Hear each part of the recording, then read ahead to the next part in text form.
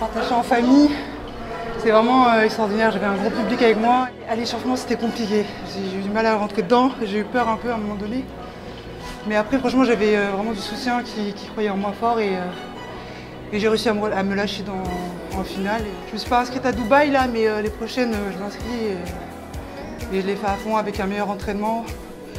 Parce que pour avouer, il n'y a, a pas eu trop. Enfin, c'était pas une bonne préparation. Ça a été au mental. Mais là, je vais me préparer euh, bien, bien, bien, bien, bien. Et, euh, et voilà.